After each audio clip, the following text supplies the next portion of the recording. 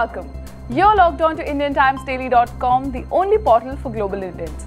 We broadcast news from India, Canada, Punjab, and Gujarat in English, Punjabi, and Gujarati languages. And our portal and apps have a list of well established businesses and resources that every global Indian needs. I'm Prerna Sharma, and today's headlines are In India, Google staff around the world have staged a walkout over the company's treatment of women, and India has won the ODI series against West Indies. In Punjab, Delhi Chief Minister Arvind Kejriwal held Punjab stubble burning responsible for rising pollution. And the police has busted a Pakistan-sponsored terrorist module.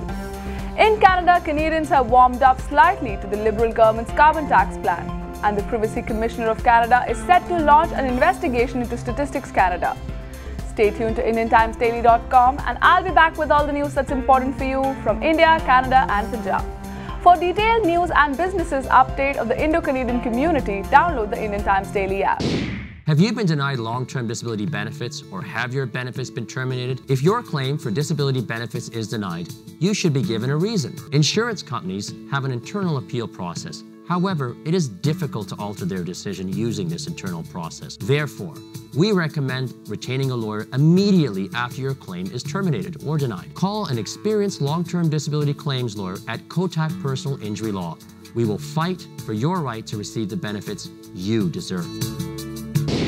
Welcome back to Indian Times Daily. The top 10 headlines from India are Hundreds of employees at Google offices around the world, including in India, have staged an unprecedented series of walkouts. This is in protest of the company's treatment of women and lenient treatment of top executives accused of sexual misconduct. Google chief executive Sundar Pichai stated that he supported their rights to protest. India continued their dominance over West Indies as they clinched the ODI series 3-1 after winning the fifth ODI by 9 wickets. A brilliant 99 runs partnership between skipper Virat Kohli and opener Rohit Sharma helped India chase down the total in 14.5 overs. Rohit also scored his 37th half century while Kohli remained unbeaten at 33 runs.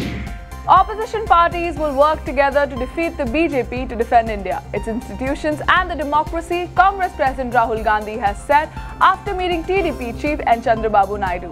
Naidu is trying to unite opposition parties to take on the Saffron Party in the Lok Sabha elections next year.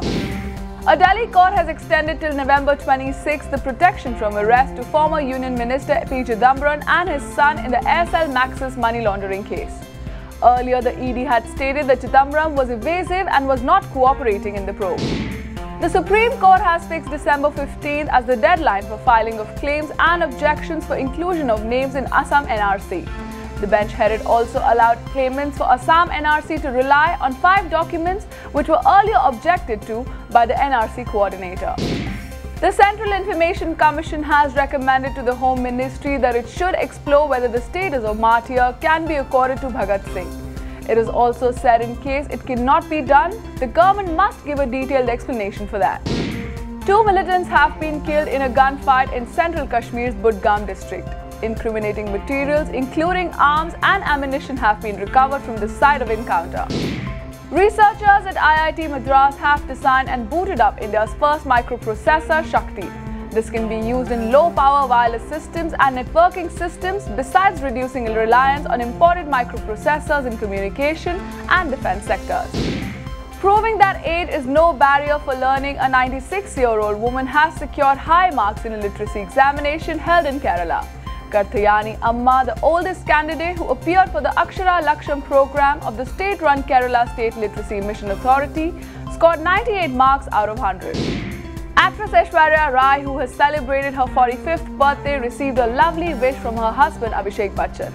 On November 1st, Abhishek sent out a special birthday wish for his wife with a black and white photograph of them and called her his happy place. Stay tuned to Indian Times Daily as the news from Punjab and Canada follows.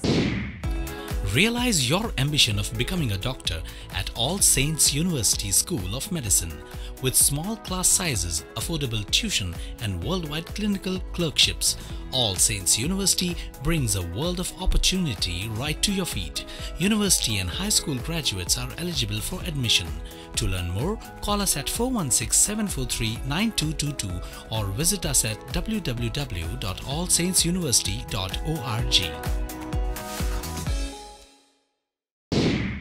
Welcome back to Indian Times Daily. The top 10 headlines from Punjab are Delhi Chief Minister Arvind Kejriwal has said that stubble burning in Punjab is the sole reason behind rising pollution levels in the national capital. Kejriwal also slammed the centre for failing to provide straw management machinery to the farmers. The police has busted a Pakistan-sponsored terrorist module Khalistan Gadar force with the arrest of one of its members. Shabnam Deep Singh hails from Patiala district and was out on bail in a petty crime case in Rajasthan. A Ludhiana-based operator is suspected to have supplied fake GST bills worth 100 crore rupees to at least 100 companies. The trading firm issued bills for the huge sum despite seeming to have made only negligible purchases. Former Governor of Jammu and Kashmir N.N. Vohra has red flagged growing violent activities of varied community groups against cow slaughter and intercaste marriages. Vohra claimed that people have been killed for alleged offences due to community groups' action. The Chief Minister's office has asked the Ropar Deputy Commissioner to take strict action against sand mafia. The Drainage Department demolished three pathways created across the river by mining mafia to ferry sand and gravel. The state has given an undertaking before the Punjab and Haryana High Court that will not file the final investigation report before any court in connection with sacrilege incidents. The High Court has issued a notice of motion to the Assembly, the CBI and other respondents for November 2nd. The state is heading towards its worst dengue outbreak in years with 9,000 cases reported this season so far. At least 6,500 cases have been reported in October alone. Around 21,000 suspected cases of dengue have been recorded this season. The SIT has named at least three followers of Dera Sacha Sauda in the sacrilege incident that took place at Malke village on November 4, 2015. Malke is 8 kilometers from Bargari village of Faridkot, where torn pages of a Bir were first found on October 12. The Department of Higher Education has decided to give more importance to practical knowledge of subjects in colleges and universities from the next academic session. The department will introduce a project-based evaluation system for all classes in universities and affiliated colleges. The state will organize the third round of job fairs under Ghar Ghar Rozgar Yojana. It will offer 82,000 job opportunities in the private sector to the youth of Punjab during these fairs. I'll be back. Stay logged on to IndianTimesDaily.com as the news from Canada follows. Immigration Terminal, the specialist for visitor visa, student visa, business immigration, family sponsorship, work permits, PNP programs, live-in caregivers and LMIA applications. Highly experienced in cases involving criminal or medical admissibility and previously refused or misrepresentation cases. Call 416-675-5666 in Ontario or 778-927-3455 in BC. Email us at info at immigrationterminal.ca. Immigration Terminal, right consultants, right future. Welcome back to IndianTimesDaily.com and the top 10 headlines from Canada are Canadians have warmed up slightly to the Liberal government's carbon tax plan after it announced a massive rebate scheme in October, a new poll has stated. Support for the carbon tax has risen from 45% in July to 54% in mid-October. Privacy Commissioner of Canada will launch an investigation after Statistics Canada requested the Commissioner take a second look at a controversial data project. The project will see the federal agency gather detailed financial transaction information on Canadians with neither their consent nor notification. The case of a man accused in a deadly van attack in North Toronto that left 10 people dead is expected in court. Alek Minassian faces 10 counts of first-degree murder after he allegedly drove a van down a crowded sidewalk on April 23rd. Prime Minister Justin Trudeau visited northern Manitoba community of Churchill as residents celebrate the arrival of first train to roll into town in more than a year. Flooding in the spring of 2017 damaged trucks and severed the only land link to the town. A potential Calgary bid for 2026 Olympic and Paralympic Games survived a city council vote as a motion for cancellation of an upcoming plebiscite did not pass. 10 votes out of 15 on council were required to abandon the November 13 plebiscite. The RCMP has changed the way it handles credit cards for gasoline purchases after it fell victim to organized criminals and the fraud went undetected for months. The crooks had racked up $104,555 in purchases by the time RCMP realized about the fraud. The Federal Ethics Commissioner has launched an inquiry into a robocall from an Ottawa MP urging her constituents to vote for her husband. Residents of Bay Ward had complained about receiving automated phone calls from Ottawa West Nepean MP Anita Vandenbeld in mid-October. The Ontario government has passed the legislation to cancel the province's cap and trade system, which Premier Doug Ford had promised during his campaign. The bill was introduced in July, but the final vote was delayed when an environmental group launched legal action against the government. The Liberal government has launched a public awareness campaign to calm fears and stress benefits of immigration and backlash in some parts of the world. Immigration Minister Ahmed Hussen said that Canada's system is different than other countries as it is well planned. The federal government has awarded contracts worth $7 billion to three shipyards for maintenance and repair work on Royal Canadian Navy frigates. Public Services and Procurement Canada announced the advance contract award notices to shipyards. This is the end of the news bulletin, but stay tuned to IndianTimesDaily.com as news from Bollywood is coming up next. And do visit the resources section on this portal to find the best Indo-Canadian businesses and resources, from accounting firms to wedding planners in your city. All of us at Indian Times Daily wish that you have a great day. Scans Accounting. A team of highly professional accountants, we deliver quality and immeasurable assistance to our clients.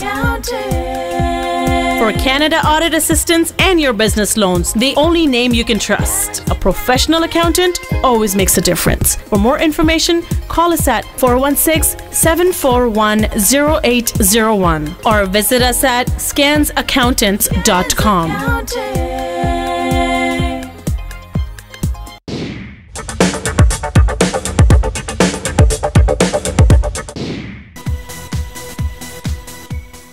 Sharma and Arpita Khan Sharma's son, Ahil, celebrated his birthday in the Halloween style this year. Many Bollywood star kids were seen at the Sharma residence dressed in different figures and movie characters. Take a look at the little munchkins here. Neelam Kothari Soni with daughter Ahana Soni, filmmaker Karan Johar's twins Yash and Ruhi, director Abhishek Kapoor's wife and producer Pragya Kapoor with son Isana, the party host Aayush Sharma, Gauri Dwivedi with her boy Shivan, Tushar Kapoor with son Lakshya, among many others were seen at the venue. Well, be it Navratri, Raksha Bandhan, Diwali or Holi, these star kids have celebrated each festival with a lot of fun.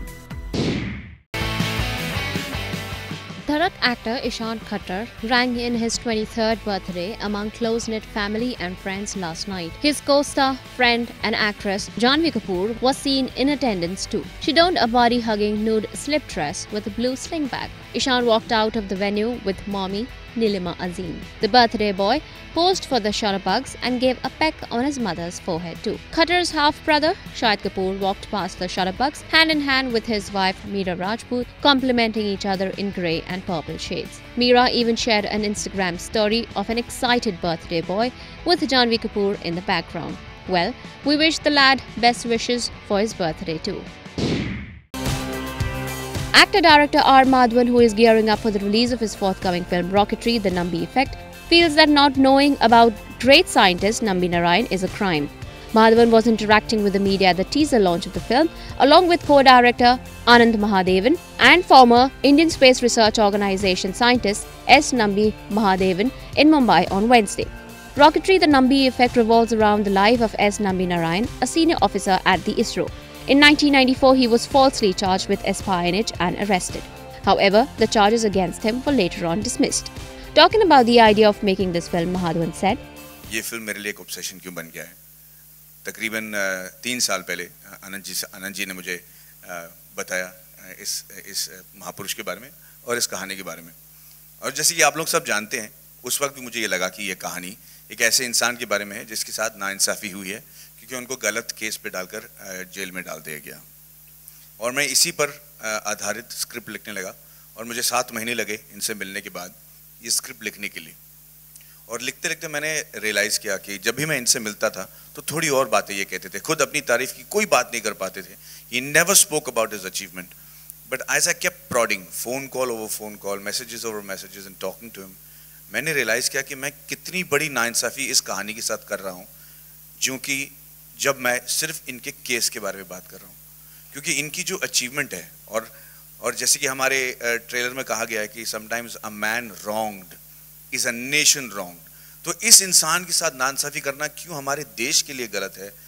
ये बात जब मुझे समझ में आई तो मेरे रोंगटे ही नहीं बल्कि मतलब मैं क्या बताऊँ कि मैं मैं बिल्कुल अ, अ, मैंने यकीन मानिए सात महीने जो हमने स्क्रिप्ट लिखी थी उठाकर मैंने बाहर फेंक दिया।